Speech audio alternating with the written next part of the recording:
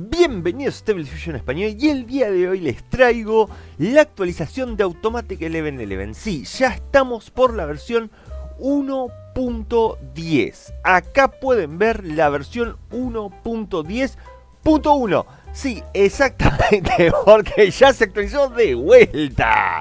Como verán, no hay ninguna diferencia en la interfaz, así que les voy a mostrar las diferencias de otra forma. Quédate en el video si querés saber qué onda con esta actualización, cuáles son las nuevas cositas que tenés. No olvides suscribirte y sin más preámbulos, empecemos.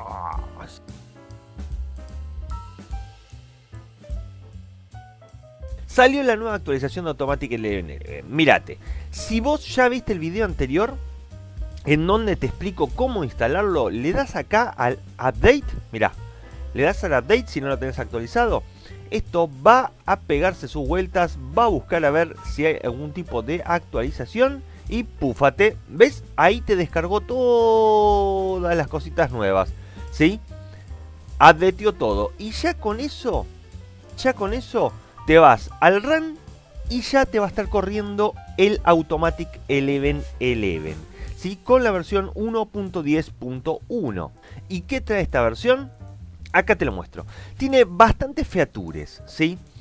Acá, fíjense, lo más importante es esto, la parte de Performance Improvement, que si nos vamos acá, no vamos a entender una goma de todo lo que dice.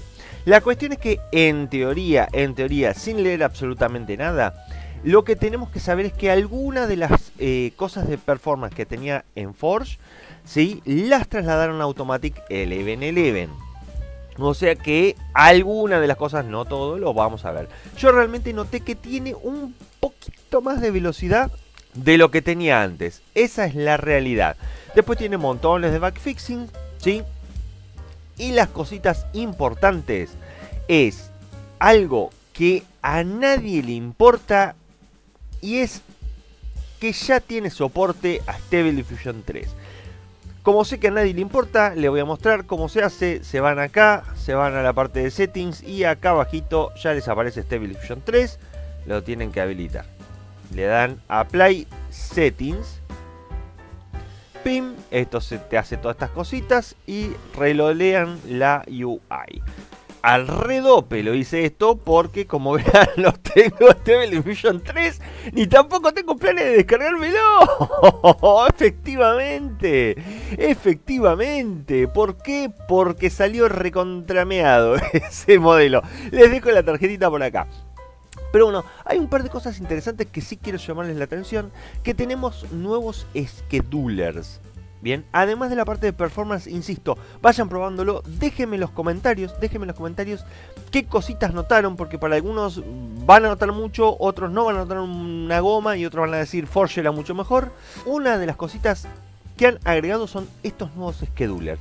¿Qué son los schedulers? Los que tenemos acá, en Schedule Type, ¿sí?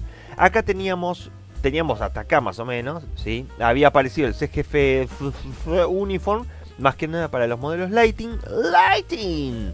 Y ahora aparecieron todos estos. Este me causa gracia porque es Align Your Steps. Ahora, el más interesante casualmente pinta que es el Align Your Steps. Que parecería ser que podés hacer imágenes con poquitos steps. Sin que sea un modelo Lighting. Pero para esto voy a sacar un nuevo video porque primero quiero analizarlo y quiero ver si realmente funciona. Porque esto, miren, tienen un paper, sí, tienen un paper de Nvidia, una Nvidia bárbara me da esto. Porque ahora son la empresa más malvada gracias a estabilidad de la IA. Eh, bueno, no estabilidad de la IA, en realidad gracias a los modelos LLM. Pero bueno, me da envidia, sí, que tengan tantos millones. Y además sacaron un paper, ¿sí? Así que voy a analizar un poquito esto. Puede que le saque un video, puede que no, porque si la verdad que no noto una diferencia es al dope. No se los eh, hago ahora porque la verdad que los modelos que tengo son todos de Pony y encima que están todos medios lighting, así que no sería una comparación válida.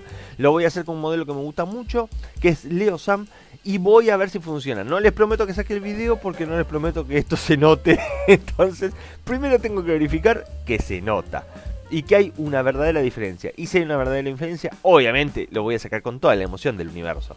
¿sí? Entonces tienen este que para mí es el más destacado, el Align to Steps, ¿sí? y todos los demás. Además, también tienen un nuevo sampler que es DDIM más más eh, por acá, CFG más más, ¿sí? Que la verdad que tampoco sé para qué sirve, no encontré mucha información súper útil, seguramente el que lo puso debe decir que está buenísimo y que logra cosas copadas. Pero bueno, lo dejo a su criterio. A mí la verdad que me parece no ve mucho, qué sé yo. Acá está bien, sí, llegaron a 20 CFG Scale, pero fíjense que es lo mismo que. Bueno, ya. Así que lo dejo a su criterio, lo dejo a su criterio, alegremente. Pero bueno, esas son las nuevas cositas que agregaron, pero lo más importante, como les decía, es el lot of performance y el soporte a Stable Fusion 3 que a nadie le importa. ¿sí? Así que bueno, espero que les haya sido útil este video. Ahí les mostré cómo actualizarlo y ya lo pueden estar utilizando alegremente. Así que bueno, como les dije, espero que les haya gustado el video y nos vemos en la próxima.